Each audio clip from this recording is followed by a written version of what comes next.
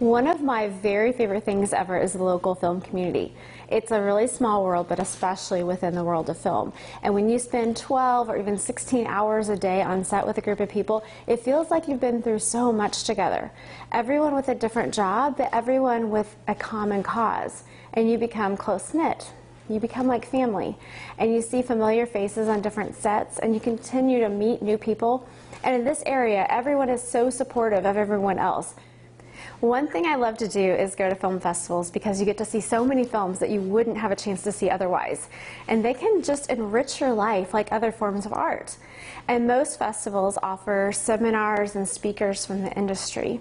Springfield was just the home to the rated SGF Film Festival and the Branson International Film Festival is coming up. You can go to bransonfilmfestival.com for information.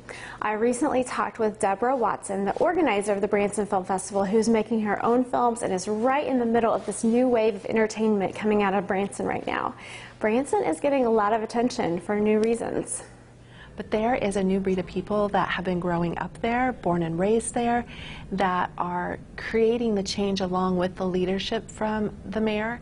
Um, and you can see it taking place in the shift at the theaters as well as the new industry of film that's growing there. So we are super excited to have our second annual um, film festival being housed at the White House Theater. They're in Branson, right between the IMAX Theater and the Meadows Theater. And we had 220 submissions come from 30 countries and 23 states, which is a 24.5% growth over last year's. And it's going to be April 4th through the 7th, um, starting off with Keith Harkin, who used to perform with Celtic Thunder, and he's got a solo career going now. And we're going to have great um, industry professionals coming in Friday, Saturday, and Sunday as well. Film production incentives are tax benefits that vary from state to state, and that can include tax credits or exemptions, grants, or other perks. And many people believe that these incentives help the local economy, and that ties into one reason why people are submitting their films to festivals.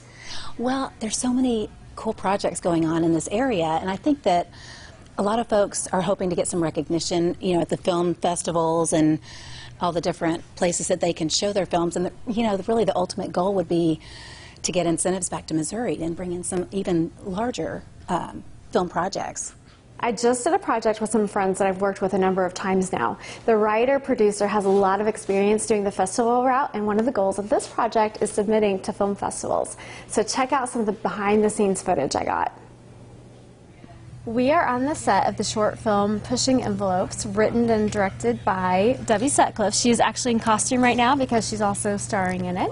And last year, Debbie's short film South of Swan Creek mm-hmm. was in the Branson International Film Festival. Yes. So, and you won some awards, right? Yes, we won the top award, uh, which they call the Agape Award, and we went, we won Best Actress and Best Supporting Actress. Are you going to enter this short film into it next year? Yes, we will be entering okay. this also and in the Branson. Brittany here, she directed that one, right? Yep, yes. she was yes. our so Brett. Say hello to Brittany Greer.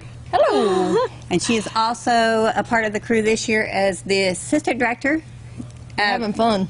Basically, she's doing all the work because I can do it without her. all together. If you can yes. see, we're kind of a mess without her. If you see, they're setting up for our next shot right now. Which yeah. is kind of cool. Hard yep. working. We've got a good crew. Yeah but we're having fun, and yep. that's what we're doing tonight. Yep. So. And also, uh, this young lady here is one of our actresses in the film, and she's yes. killing it. I'm a mean girl. She's a mean girl, but Everybody not in real life. Not in real life. In real life, she's a sweetheart. But she's doing a good. That's just a testament, I think, to how good you are, though. Aw. See? Thanks, Brittany. Nice girl, Thanks, Mean girl. Yeah. Yeah. This is Terry Austin. She's my scene partner today. We're having so much fun.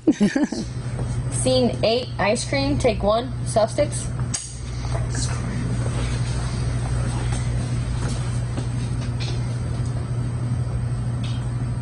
And action.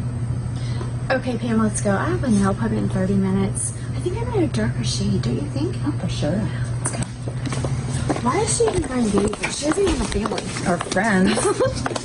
okay. Let's just try it. No, whenever I pick it up, I'm kind of straight profile to you. Do you want it any more? That's that no, way? that's fine, and Straight we'll get a little bit of catch light. It'll look good. So yeah, you can turn just a little bit this way if you want to. Okay.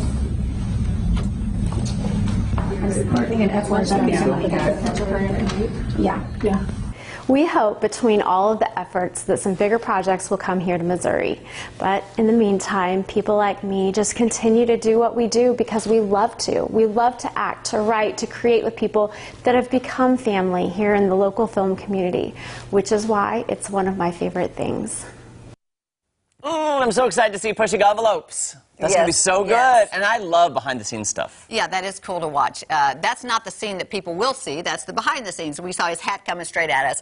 But we have so much talent here, and people really want to create. They want to uh, do these independent films, and then even the big the big guys come here to shoot. Yes, in fact, we'll be talking later with Ja and Jeff from the Sato 48 Film Festival, which unites people from all over the Ozarks that have to create a five-minute short film in 48 hours. 48 hours, and that 48 really tests your creativity, your storytelling ability, and Physical strength. the editing. Because- and the editing. oh my gosh. sleep. Yeah, is you've got so Yeah. much to do, and the products amazing. Yeah. The overall product's amazing. that. Yeah.